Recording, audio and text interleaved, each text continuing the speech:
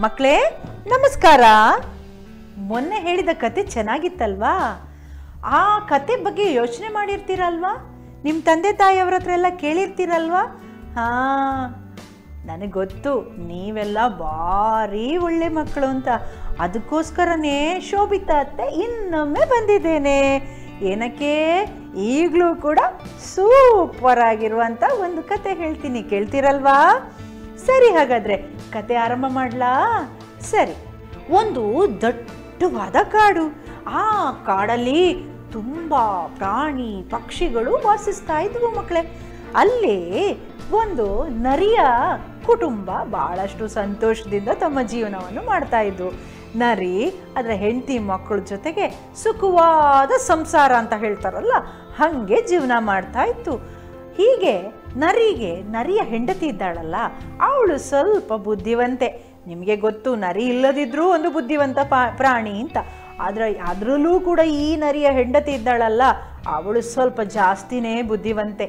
ಅವಳ ಬುದ್ಧಿವಂತಿಕೆ ಇಡೀ ಕಾಡಿನಲ್ಲಿ ಬಹಳಷ್ಟು ಪ್ರಸಿದ್ಧಿಯನ್ನು ಪಡೆದಿತ್ತು. ಹೀಗೆ ಒಂದಿನ ಏನಾಯಿತು ಗೊತ್ತಾ ಮಕ್ಕಳೇ ಮಳೆಗಾಲ. ಈಗ ಮಳೆ ಸುರಿತಾ ಇದೆಯಲ್ಲ, ಹಾಗೆ ಧೋ ಧೋ ಧೋ ಅಂತ ಮಳೆ ಸುರಿತಾ ಇತ್ತು. ಸಿಡಿಲು, ಗುಡುಗು ಎಲ್ಲ ಬರ್ತಾ ಇತ್ತು. ಈ ನರಿ ತನ್ನ ಸಂಸಾರನ ಎಲ್ಲಿ ಮಾಡ್ತಾ ಇತ್ತು ಗೊತ್ತಾ? ಬೆಟ್ಟದ ಮೇಲಿರುವಂತಹ ಒಂದು ಬಂಡೆಯ ಎಡೆಯಲ್ಲಿ ಒಂದಷ್ಟು ಜಾಗ ಇತ್ತು. ಆ ಜಾಗದಲ್ಲಿ ಈ ನರಿ ತನ್ನ ಕುಟುಂಬದ ಜೊತೆಗೆ ವಾಸವಾಗ್ತಾ ಇತ್ತು. ಈ ಮಳೆ ಬಂದಂತಹ ಸಮಯದಲ್ಲಿ ಏನಾಯ್ತು ಗೊತ್ತಾ ಮಕ್ಕಳೇ?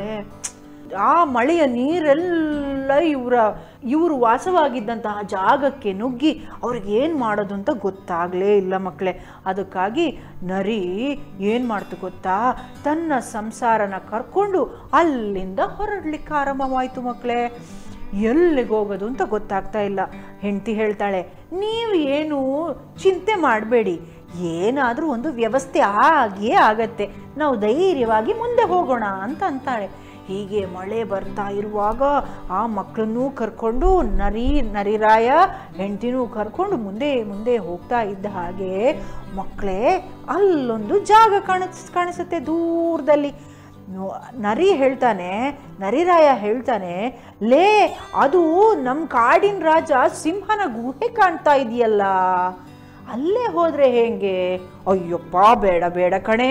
ಅಲ್ಲಿ ಹೋಗ್ಬಿಟ್ರೆ, ಎಲ್ಲಾದರೂ ಸಿಂಹ ಬಂದ್ಬಿಟ್ರೆ, ಅಯ್ಯೋ, ನಮ್ಮನ್ನೆಲ್ಲ ತಿಂದ್ಬಿಡ್ತಾನೆ ಬೇಡ ಬೇಡ ಬೇಡ, ನಾವು ಬೇರೇನಾದರೂ ವ್ಯವಸ್ಥೆ ಮಾಡೋಣ, ಆಗ್ಬೋದಾ? ಅಂತಾನೆ. ಆಗ ಅವನ ಹೆಂಡತಿ ಹೇಳ್ತಾಳೆ, ಅಯ್ಯೋ ದೇವ, ನೀವು ಯಾಕ್ರಿ ಚಿಂತೆ ಮಾಡ್ತೀರಾ? ನಾನಿದ್ದೀನಿ, ನಮಗೀಗ ಜಾಗ ಬೇಕಾದದ್ದು. ಭದ್ರತೆ ಬೇಕಾದ್ದು. ನಮ್ಮ ಮಕ್ಕಳು ಪಾಪ ಈ ಮಳೆ ಮಳೆಯಲ್ಲಿ ತೋಯ್ದಿದ್ದಾರೆ. ಅವ್ರಿಗೆ ಏನಾದರೂ ಆಗ, ಆದರೆ ನನಗಂತೂ ಭಾಳ ದುಃಖ ಆಗತ್ತೆ. ಅದಕ್ಕೋಸ್ಕರ ಈಗ ನಮಗೊಂದು ಜಾಗ ಬೇಕು, ನೇರವಾಗಿ ಅಲ್ಲಿ ಹೋಗೋಣ. ಆಮೇಲೆ ಏನು ಬೇಕಾದರೂ ಆಗಲಿ ನಾನು ನೋಡ್ಕೋತೀನಿ ಅಂತಾಳೆ. ಈ ನರಿರಾಯ ತನ್ನ ಸಂಸಾರನ ಕಟ್ಕೊಂಡು ಸಿಂಹ ವಾಸಿಸ್ತಾ ಇದ್ದ. ಯಾವ ಯಾರು ವಾಸಿಸ್ತಾ ಇದ್ದ? ಕಾಡಿನ ರಾಜ ಸಿಂಹ ವಾಸಿಸ್ತಾ ಇದ್ದಂಥ ಗುಹೆಯ ಒಳಗೆ ಹೋಗ್ತಾನೆ. ಹೋಗಿ ಅಲ್ಲಿ ಕೂತ್ಕೊಳ್ತಾರೆ.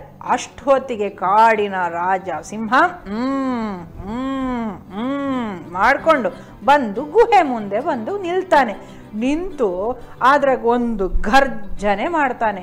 ಅಷ್ಟೊತ್ತಿಗೆ ಒಳಗಿದ್ದಂತಹ ನರಿಗೂ, ನರಿಯ ಹೆಂಡತಿಗೂ ಗೊತ್ತಾಯಿತು ಸಿಂಹ ಬಂದಿದೆ ಅಂತ. ಈ ಅಷ್ಟೊತ್ತಿಗೆ ಸಿಂಹಕ್ಕೂ ಗೊತ್ತಾಯಿತು. ಏನೋ ಒಳಗೆ ಸಣ್ಣ ವ್ಯತ್ಯಾಸ ಆಗಿದೆ ಅಂತ. ಕಿವಿ ಕೊಟ್ಟು ಹೀಗೆ ನಿಲ್ತಾನೆ ಮಕ್ಕಳೇ ಅಷ್ಟೊತ್ತಿಗೆ ಒಳಗಿನಿಂದ ಒಂದು ಗಟ್ಟಿಯಾದಂತಹ ಸ್ವರ ಬರ್ತದೆ ಮಕ್ಕಳೇ. ಏಯ್ ಮಕ್ಕಳೇ, ಯಾಕೋ ಅಳ್ತಾ ಇದ್ದೀರಾ? ಸುಮ್ಮನಾಗಿ ಈಗ ಕಾಡಿನ ರಾಜ ಅಂತೆ, ಸಿಂಹ ಬರ್ತಾನೆ. ಬಂದ ಕೂಡಲೇ ಅವನನ್ನು ಕೊಂದು ಹಾಕಿ, ಅವನ ಮಾಂಸದಿಂದ ಒಂದು ಪೊಗದಸ್ತಾದಂತಹ ಊಟ ನಿಮಗೆ ಬಡಿಸ್ತೀನಿ ನೋಡಿ, ಆಮೇಲೆ ನೀವು ಸುಮ್ಮನಾಗ್ತೀರಾ ಅಷ್ಟರವರೆಗೆ ಒಂದು ಸ್ವಲ್ಪ ತಡ್ಕೊಳ್ಳಿ ಅಂತ ಅಂತಾನೆ. ತಡ್ಕೊಳ್ಳಿ ಅಂತ ಹೇಳುವಂತಹ ಒಂದು ಸ್ವರ ಕೇಳಿಸ್ತದೆ. ಯಾರಿಗೆ? ಕಾಡಿನ ರಾಜ, ಹ್ಮ್, ಸಿಂಹನಿಗೆ. ಅಷ್ಟು ಹೊತ್ತಿಗೆ ಏನಾಯ್ತು ಗೊತ್ತುಂಟ ಮಕ್ಕಳೇ? ಸಿಂಹ ಕಾಡಿನ ರಾಜ ಆದ್ರೂ ಅಲ್ಲಿ ಒಳಗೆ ಯಾರಿದ್ದಾರೆ ಅಂತ ಅವನಿಗೆ ಗೊತ್ತಿಲ್ಲ.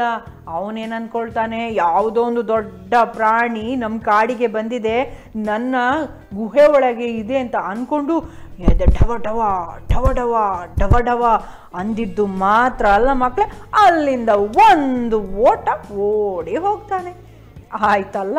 ಹೆದ್ರಿ ಓಡ್ತಾ ಇದ್ದಂಥ ಸಂದರ್ಭದಲ್ಲಿ ಮಳೆ ಬೇರೆ ಬರ್ತಾ ಇದೆ, ಗಾಳಿ ಇದೆ, ಸಿಡ್ಲಿದೆ, ಗುಡುಗಿದೆ. ಅಷ್ಟು ಹೊತ್ತಿಗೆ ಆ ಕಡೆಯಿಂದ ತೋಳರಾಯ ಬರ್ತಾ ಇದ್ದ. ಏ ಏನು, ಏನ್? ರಾಜರು ಓಡ್ತಾ ಇದ್ದೀರಾ? ಈ ಹೀಗೆ ಯಾಕೆ ಓಡ್ತಾ ಇದ್ದೀರಾ? ಅಂತ ನಿಲ್ಲಿಸಿ ಕರಿತಾನೆ. ತೋಳದ ಹತ್ರ ಬಂದು ಸಿಂಹ ಹೇಳ್ತಾನೆ, ಅಯ್ಯೋ, ಏನು ಹೇಳಿ? ನಮ್ಮ ನನ್ನ ಗುಹೆ ಒಳಗೆ ಅದ್ಯಾವುದೋ ಒಂದು ದೊಡ್ಡ ದೈತ್ಯಾಕಾರದ ಪ್ರಾಣಿ ಬಂದಿದೆ. ಅದು ನನ್ನನ್ನೇ ತಿಂದು ಹಾಕ್ತದಂತೆ ಅಂತ ಧಮ್ಕಿ ಕೊಡ್ತಾ ಇದೀಯಪ್ಪ. ನಾನಂತೂ ನನ್ನ ಜೀವನ ಉಳಿಸ್ಕೋಬೇಕು. ನಾ, ನನಗೆ ದಾರಿ ಬಿಡು. ನೀನು, ದಾರಿ ಬಿಡು, ನೀನು ಹೋಗ್ತಾ ಇರು, ಅಂತದೆ. ತೋಳ ನರಿ ಈ ಕಡೆ ಬರ್ತಾ ಇರೋದನ್ನು ನೋಡಿತ್ತು. ಅದಕ್ಕಾಗಿ ಅದು ಹೇಳ್ತದೆ, ತೋಳ ಹೇಳ್ತದೆ, ಅಯ್ಯೋ, ನೀನು ಸುಮ್ಮನೆ ಇರು ನನ್ನ ಜೊತೆ ಬಾ, ನಾವಿಬ್ರು ನೋಡೋಣ, ಅದು ಏನು ಅಂತ ನೋಡ್ಕೊಂಡು ಬರೋಣ ಅಂತ ಹೇಳಿ ಸಿಂಹದ ಹತ್ರ ಹೇಳ್ತದೆ. ಆಗ ಸಿಂಹ ಹೇಳ್ತಾನೆ, ಅಯ್ಯೋ, ನಿಮ್ಮನ್ನೆಲ್ಲ ನಂಬ್ಕೊಂಡು ನಾನು ಯಾಕೆ ನನ್ನ ಜೀವನ ಬಲಿ ಕೊಡಬೇಕು? ಅದಕ್ಕಾಗಿ ಒಂದು ಕೆಲಸ ಮಾಡೋಣ ನಾನು. ನನ್ನ ಬಾಲನು ನಿನ್ನ ಬಾಲನು ಹಿಂಗೆ ಕಟ್ಟೋಣ. ಆಮೇಲೆ ಇಬ್ರು ಜೊತೆಯಾಗಿ ಹೋಗೋಣ. ಏನಾದ್ರಾದ್ರೂ ನಮ್ಗಿಬ್ರಿಗೂ ಆಗ್ಲಿ ಅಂತ ತೀರ್ಮಾನ ಮಾಡ್ಕೊಂಡು ಇಬ್ರು ಹೋಗ್ತಾರೆ. ಈ ಇಬ್ರು ಗುಹೆ ಹತ್ರ ಬಂದಿದ್ದೇ ಬಂದಿದ್ದು ಇನ್ನೊಮ್ಮೆ ಗಟ್ಟಿಯಾದ ಶಬ್ದ ಸ್ವರ ಬರ್ತದೆ ಮಕ್ಕಳೇ ಏನು ಹೇಳ್ತಾ ಇದೆ ಗೊತ್ತಾ? ಏನೋ ತೋಳರಾಯ, ನಿನ್ನಲ್ಲಿ ಹೇಳಿದ್ದಲ್ವಾ ನಾನು? ಐದು ಸಿಂಹ ತಗೊಂಡ್ ಬರಬೇಕು ಅಂತ. ಒಂದೇ ಒಂದು ಸಿಂಹ ಹಿಡ್ಕೊಂಡು ಬಂದಿದ್ಯಾ ಉಳಿದ ನಾಲ್ಕು ಎಲ್ಲಿ? ತರದಿದ್ರೆ ನಿನ್ನನ್ನು ಮುಗಿಸ್ಬಿಡ್ತೀನಿ. ಅನ್ನುವಂತಹ ಸ್ವರ ಕೇಳಿದ ಕೂಡಲೇ ಕಾಡಿನ ರಾಜಸಿಂಹ ಗಡ ಗಡ ಗಡ ಗಡ ಗಡ ನಡುಗ್ಲಿಕ್ಕೆ ಆರಂಭ. ಅಲ್ಲಿಂದ ಒಂದು ಓಟ ಓಡಿದ್ದೆ ಓಡಿದ್ದು. ಏನು ಹೇಳಿದೆ ನಾನಾಗ? ಕಾಡಿನ ರಾಜ ಸಿಂಹ ಯಾರ ಜೊತೆ ಬಂದದ್ದು? ತೋಳದ ಜೊತೆ ಬಂದದ್ದು. ಹೇಗೆ ಬಂದದ್ದು? ತೋಳ ಮತ್ತು ಸಿಂಹದ ಬಾಲ ಹೀಗೆ ಕಟ್ಟಿ ಹಾಕ್ಕೊಂಡಿತ್ತು ಆಯ್ತಲ್ಲ, ಇಬ್ರು ಓಡಿದ್ದೆ ಓಡಿದ್ದು ಏನು ಕಾಣಿಸಲ್ಲ, ಮಳೆ, ಗಾಳಿ, ಸಿಡ್ಲು, ಗುಡುಗು, ಗಾಳಿ ಏನಿಲ್ಲ ಒಟ್ಟಿನಲ್ಲಿ ನನ್ನ ಜೀವ ಉಳಿಬೇಕು ಅಂತ ಸಿಂಹ ಓಡಿದ್ದೆ ಓಡಿದ್ದು, ಅದ್ರ ಜೊತೆಗೆ ತೋಳ ಓಡಿದ್ದೆ ಓಡಿದ್ದು. ಎಲ್ಲೋ ಒಂದು ದೊಡ್ಡ ಪ್ರಪಾತಕ್ಕೆ ಬಿದ್ರು ಇಬ್ರು ಕಲಾಸ್. ಮಕ್ಕಳೇ ಏನು? ಹೆಂಗಿತ್ತು ಕತೆ? ಸಿಂಹ, ನರಿ, ತೋಳ ಈ ಮೂರು ಪಾತ್ರಗಳಿಂದ, ಈ ಕಥೆಯಿಂದ ನೀವು ಏನು ತಿಳ್ಕೊಂಡ್ರಿ? ನಿಮ್ಮ ವಿವೇಚನೆಗೆ ಬಿಡ್ತಾ ಇದ್ದೇನೆ. ಯೋಚನೆ ಮಾಡಿ, ಇನ್ನೊಮ್ಮೆ ಮತ್ತೊಂದು ಕಥೆಯೊಂದಿಗೆ ಭೇಟಿ ಆಗ್ತೇನೆ ನಮಸ್ಕಾರ.